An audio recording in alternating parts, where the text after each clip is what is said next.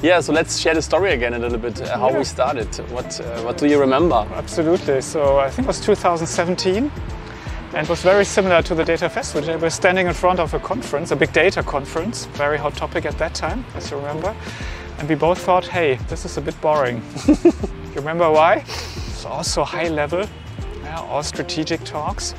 But we both, with our companies, were actually in many of those companies present, knowing mm. what's really happening. Mm. So, well, this is there's quite a, a gap between the, the glossy slides and what's really happening and all the problems the companies had and all the problems to find the right solutions Yeah. approaches.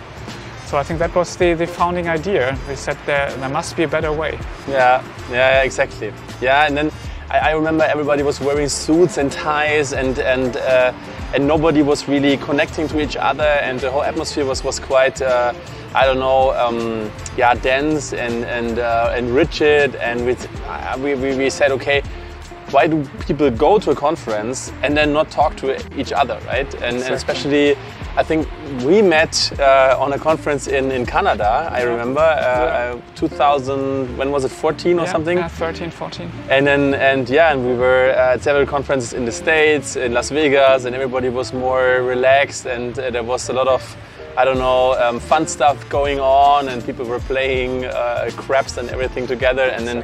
Yeah, and then and why not do something like this in Europe, uh, um, uh, which which uh, addresses more the needs of the, the real people, right, and brings Exactly. together the to, to, together the real community.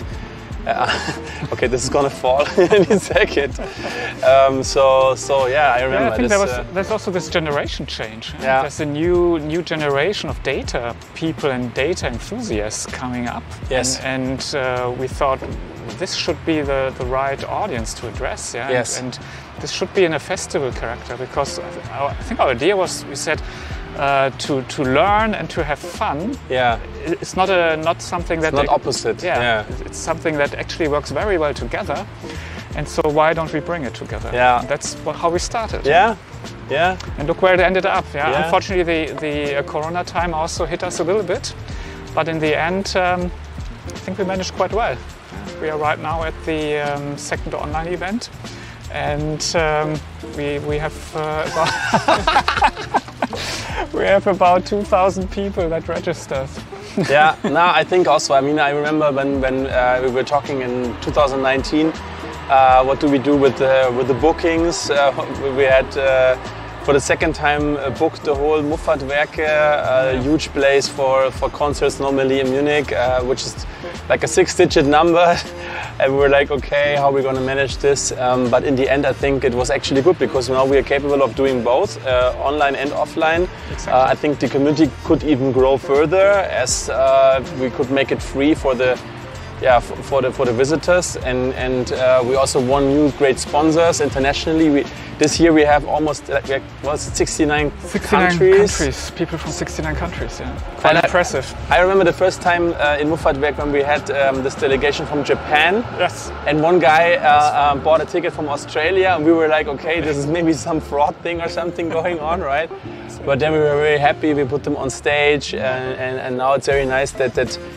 For me, it makes me really happy and proud to see that that um, the international community is also interested in what's happening in Europe with data and AI, and, and there's Yeah. much more to come. I think. What do you think? Absolutely. Yeah, no, I, I mean, we, we, I think we all agree we are just starting with the topic. Uh, we, we saw that the first movers now do a lot of interesting things, but there's still the 95% uh, that are not that far ahead. And, Yeah. And we are also doing this festival for them. Yes. It's not only a, a small circle of super advanced tech companies, but it's also really learning from them, but also learning from each other and also yeah, not being afraid of, of being not so mature in that topic, but still be there, exchange, learn.